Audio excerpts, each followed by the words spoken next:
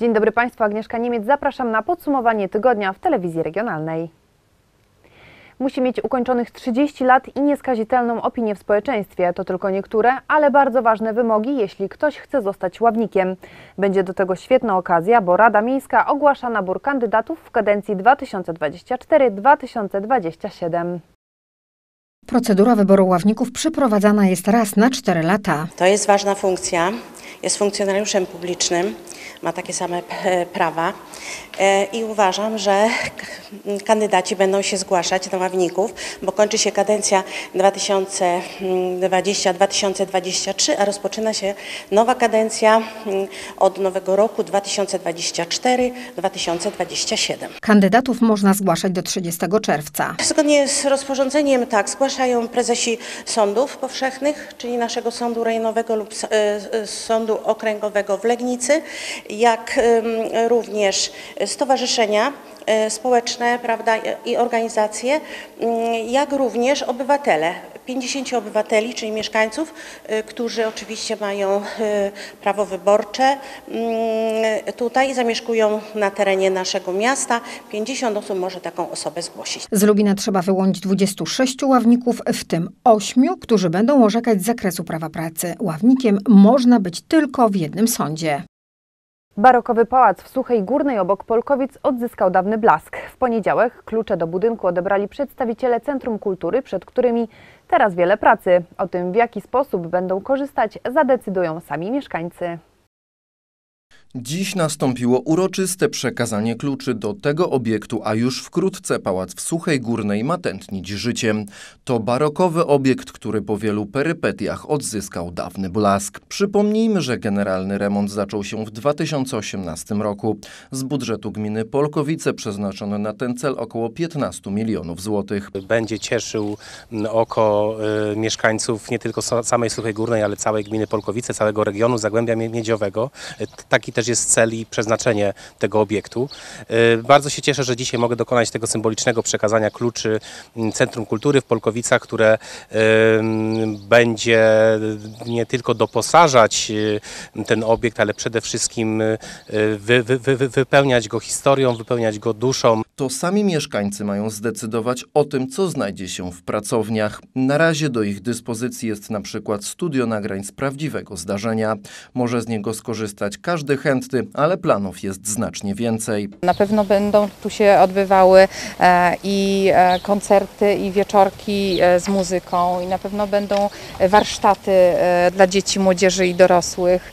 Na pewno będziemy tu organizować wystawy i myślę, że po konsultacjach z mieszkańcami też e, usłyszymy ich głos e, i to, na czym im bardzo zależy. Pierwsze wydarzenia są planowane na lato. Oprócz funkcji kulturalnych z pałacu mają korzystać także prywatni przedsiębiorcy. Jesteśmy już po kilku spotkaniach z partnerami biznesowymi, bo to jest przepiękne miejsce na rozwój, integrację firm, na organizację wielu wydarzeń firmowych, dlatego też staramy się i myślimy o tym, aby łączyć kulturę troszeczkę z działaniem komercyjnym. Warto dodać, że ten historyczny obiekt z 1797 roku to 1700 m2 powierzchni i 5 kondygnacji. Wśród nich jest 7 pomieszczeń na pracownię i co ciekawe, aż 17 łazienek.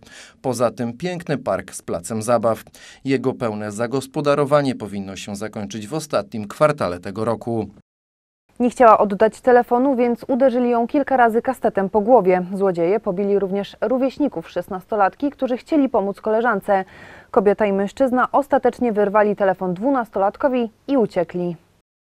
Szesnastolatka została napadnięta przez dwie osoby dorosłe na jednym z lubińskich osiedli. Gdy wysiadała z autobusu, kobieta i mężczyzna zażądali, by dziewczyna oddała swój telefon. W wyniku tego zdarzenia sprawcy, używając m.in. kasteta, e, dokonali uszkodzeń ciała. Kobieta, używając właśnie e, kastetu, uderzyła 16-latkę w głowę, chcąc e, wyrwać telefon. Koledzy szesnastolatki, którzy ruszyli jej na pomoc, zostali uderzeni przez mężczyznę. Sprawcy swoją złość wyładowali jeszcze na dwunastoletnim chłopcu, któremu wyrwali telefon z ręki i uciekli. Kotli. Policjanci natychmiast rozpoczęli poszukiwania przestępców. Po ustaleniu szczegółów kradzieży, wyglądu sprawców i zabezpieczeniu monitoringu mundurowi zatrzymali 24-letnią kobietę i 33-letniego mężczyznę. Słyszeli zarzuty, m.in. usiłowania dokonania rozboju, e, za co grozi im kara do 12 lat e, więzienia.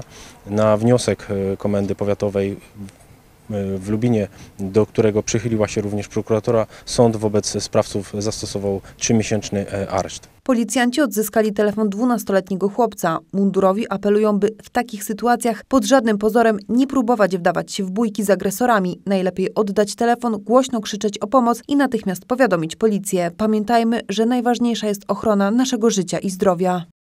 Zapadł wyrok na mieszkańcach Kozich Dołów za podżeganie do zabicia zwierzęcia. Sąd Okręgowy w Legnicy utrzymał w mocy wyrok sądu rejonowego w Głogowie. Wymierzona Mieczysławowi W. kara to 3000 zł grzywny oraz ogłoszenie do publicznej wiadomości na tablicy w Urzędzie Gminy w Kotli. Wyrok jest prawomocny. Początek tej tragicznej sytuacji sięga końcówki listopada 2020 roku. Wtedy w okropnych męczarniach rodzina Makuć z Kozich Dołów pożegnała swojego pupila. Półtora roczna Roxy została otruta trutką na szczury. Pani Beata podejrzewała sąsiada Mieczysława W., ale brakowało na to dowodów. Ostatecznie mężczyzna usłyszał wyrok, ale w sprawie podżegania do zabójstwa psa. No, podżeganie zostało udowodnione na podstawie, tak jak zresztą sędzia y, napisał w uzasadnieniu, na podstawie po prostu dat, zdarzeń, tak.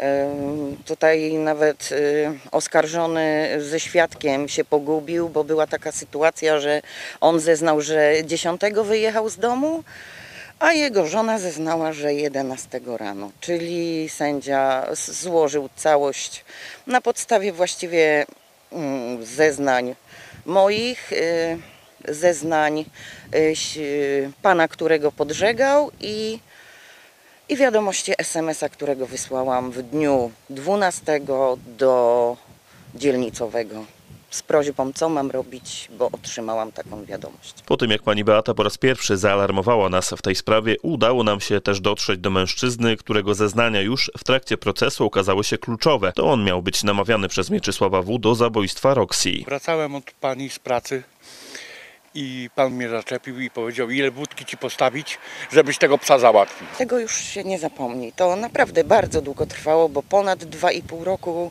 to jest bardzo ciężko, tak?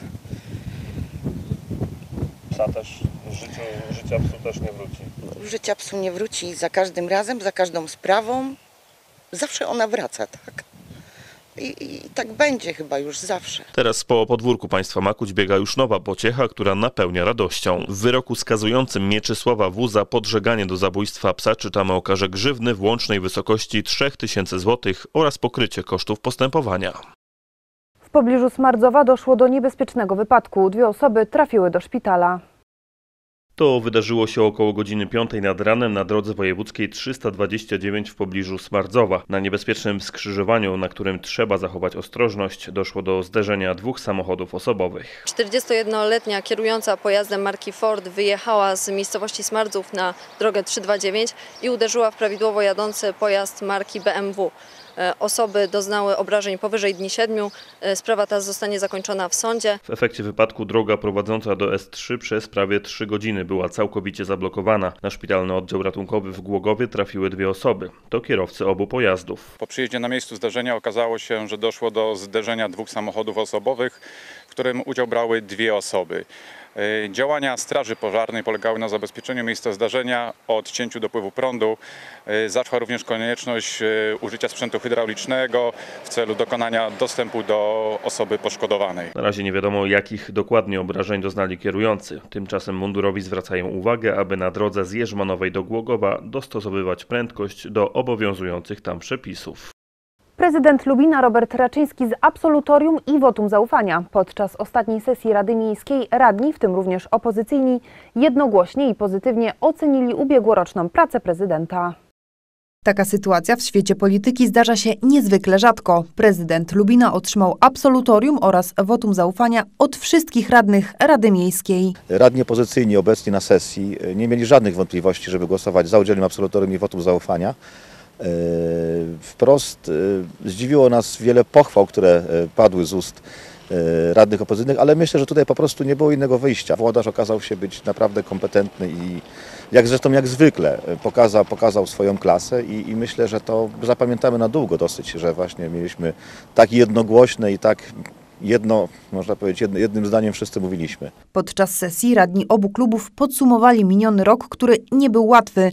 Samorządowcy podkreślali zwłaszcza skuteczność prezydenta w pozyskiwaniu funduszy zewnętrznych. Mieliśmy bardzo trudny okres, bo tu mieliśmy jeszcze okres pandemii. Zesz- Zeszły rok 2022 był jeszcze w połowie okresem pandemicznym. Były szczepienia, e, wojna na Ukrainie, tak sytu- sytuacja samorządów, jednak podwyżki cen, inflacja. Natomiast udało zrealizować się wszystkie inwestycje. Miasto na ani jeden moment nie, nie przestało być wyda- wydolne. E, Cały czas wszystko to, co do, do, do, do zadań miasta należy, samorządu należy zostało, zostało zrealizowane, że już nie wspomnę o wszystkich inwestycjach, które tak zgodnie z planem były cały, czas- realizowane, pokończyły się. Mówimy to o oświetleniu, o inkubatorach, o drogach, które jak nawet kończą się w tym roku, to jednak były realizowane już w zeszłym roku. Za udzieleniem wotum zaufania prezydentowi Lubina Robertowi Raczyńskiemu zagłosowało 19 radnych, tylu ilu obecnych było podczas ostatniej sesji. To historyczna chwila, bowiem po raz pierwszy przychylna włodarzowi miasta była również opozycja, która pozytywnie wypowiadała się na temat tego, jak prezydent zarządzał ubiegłorocznym budżetem. Agnieszka Niemiec, wydarzenia. Ponad milion złotych kosztowała modernizacja hali sportowej w pierwszym liceum ogólnokształcącym w Lubinie. Część pieniędzy na ten cel przekazał powiat, pozostałe pozyskano z zewnątrz. Lekcje WF-u już odbywają się w wyremontowanej hali. Wszystko poszło zgodnie z planem i zgodnie z terminami. Modernizacja trwała od grudnia do maja. Mamy oświetlenie LEDowe w całym obiekcie, tym sportowym, z salą łącznie jak tu widać. Wymianę y, czynną powietrza, więc jest teraz świeże powietrze, bo nadmuch i, wyciąg powietrza. E, Wymiana całej instalacji grzejnej, to znaczy kaloryferu, bo, bo reszta poszła jako zamienne e, czynności. Docieplenie stropu, docieplenie stropu na części socjalnej, a, No i takie też y, drobne rzeczy, lifting y, y, wyglądu sali, więc sala wygląda jak nowa, a przede wszystkim bardziej mniej energochłonna. Udało nam się pozyskać 880 tysięcy środków zewnętrznych. Jest to program operacyjny województwa dolnośląskiego, którego zadaniem jest poprawa efektywności energetycznej budynków. 220 tysięcy to są środki własne powiatu. W ramach modernizacji wymieniono także grzejniki i zamontowano instalację fotowoltaiczną. Mamy u góry na sali zamontowaną instalację fotowoltaiczną, która też zmniejszy jeszcze zużycie kosztów y, inst- y, no, energii elektrycznej, bo y, już pomijając, że docieplenie spowoduje, że mniej będziemy płacić za ogrzewanie, no to oświetlenie e, mm, LEDowe powoduje, że to jest 20%, y, że tak powiem, e, zużycia prądu, jeżeli chodzi o oświetlenie tego, co było do tej pory. To już trzecia większa inwestycja, jaką przeprowadził opowiat lubiński w ostatnim czasie. Przypomnijmy, że powstała pracownia zawodowa przy zespole szkół numer 2. Odbyła się również termomodernizacja hali sportowej w drugim liceum ogólnokształcącym. Na finiszu jest także budowa nowoczesnego ośrodka szkolno-wychowawczego przy Alei Komisji Edukacji Narodowej w Lubinie. Pokonywali własne bariery i niepełnosprawności. Na lubińskim Wielorybie odbyła się wyjątkowa impreza sportowa, w której rywalizacja i miejsce na podium schodziły na dalszy plan. Blisko 100 osób wzięło udział w ósmych powiatowych zawodach Nordic Walking osób niepełnosprawnych. Już ósmy raz jesteśmy tutaj na Wielorybie, dlatego że ja tutaj się też kiedyś bawiłam. Natomiast y, łatwiej jest Ścinawie przyjechać do Lubina niż wszystkim y, placówkom do, do Ścinawy.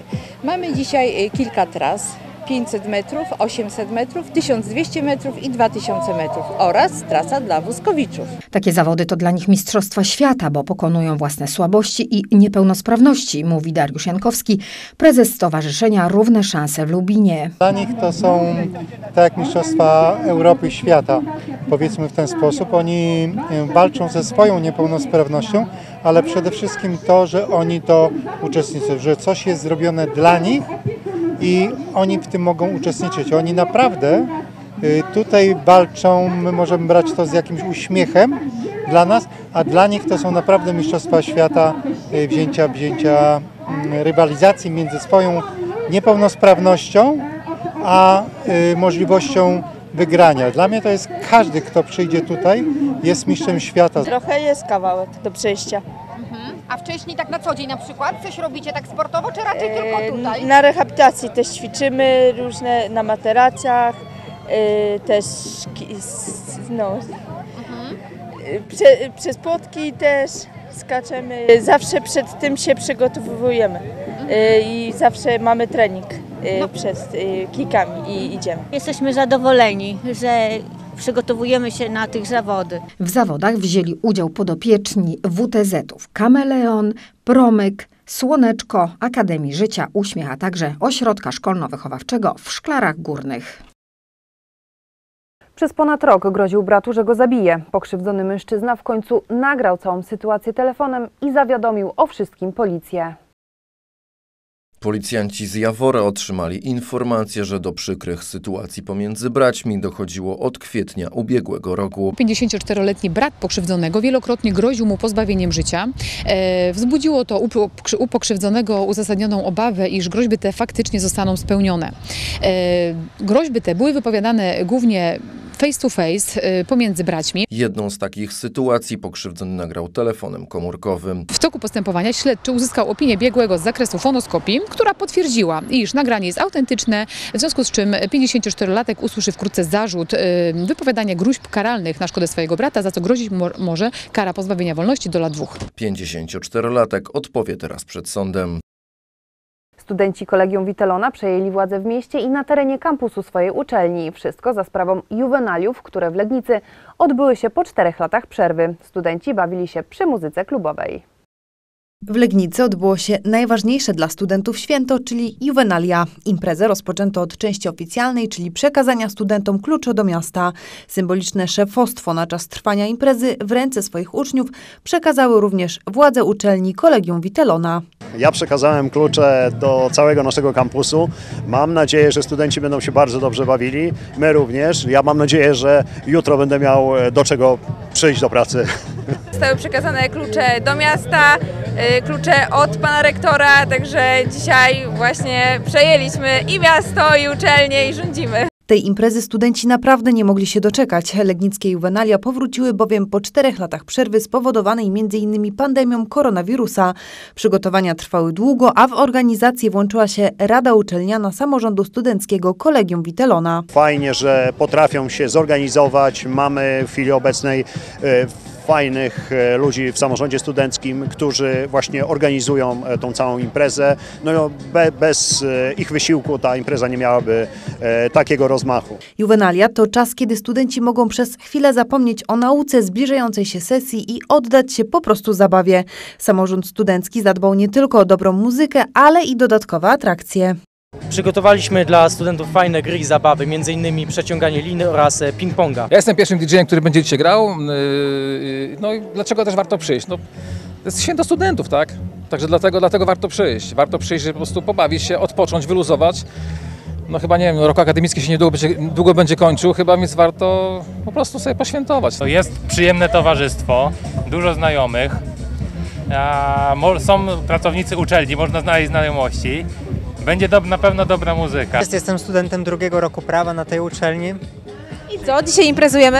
Tak jest, przyjechałem specjalnie na juwenalia tegoroczne, bardzo się cieszę. No i już nie mogę się doczekać. Studenci do zabawy zapraszali wszystkich mieszkańców Legnicy i okolic, a ci z zaproszenia skorzystali. Przyszłam się bardzo dobrze bawić i mam nadzieję, że będzie tak jak co roku, czyli imprezowo. Podczas tegorocznych juwenaliów królowała muzyka klubowa. Na scenie wystąpił m.in. DJ Hazel oraz Gromi, a pod sceną nie zabrakło oczywiście tańczących i dobrze bawiących się studentów.